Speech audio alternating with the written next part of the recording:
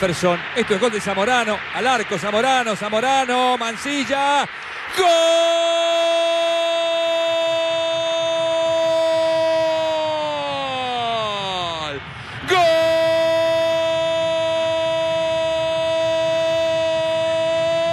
¡Gol del Morelia! Un gol de extremo, contraataque, brillante concepción y terminación de la jugada. Muy bien Zamorano, que es una de las figuras del encuentro, apenas recientemente ingresado. De un pase certero para que le empuje Mansa y abajo Mancilla. Y el Morelia de contraataque después de un córner mal tirado del Santa Fe de Bogotá.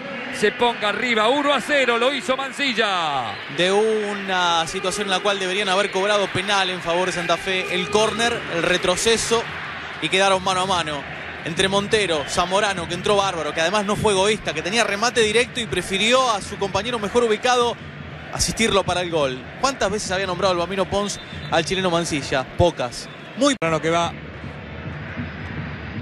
Valdés, Aldo Leao. Zamorano es el segundo golazo. Zamorano.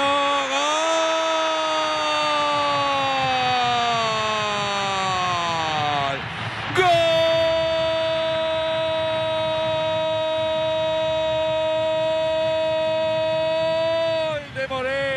¡Qué gol hizo Zamorano!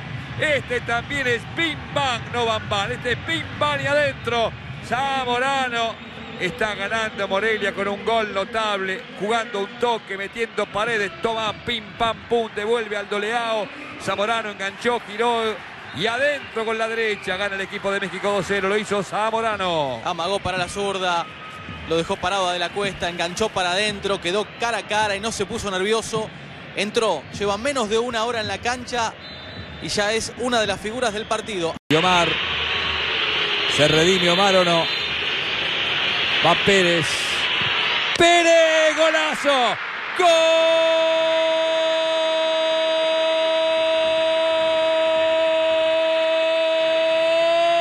de Santa Fe, Omar.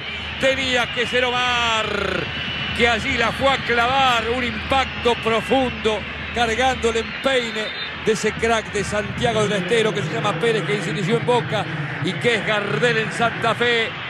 No fue de penal, fue de tiro libre. Elegido para ser grande Omar Pérez, clavando la pelota en el medio. Imposible para Rodríguez. Uno para Santa Fe, dos para Lo Morelia. Este gol tiene plus agregado para la revancha. Tiene un poco de responsabilidad el arquero, pero es un bombazo, un balinazo dirigido al ángulo, tapado por sus compañeros y sus rivales. Se abren los dos jugadores de Santa Fe y por ese lugar exacto Pérez apunta y pasa la pelota. Cuando el arquero la ve, viene con tanta potencia que no la puede frenar. No la pudo meter de penal, erró goles abajo del arco Santa Fe y lo mete de tiro libre ante esta magnífica ejecución de Omar Pérez.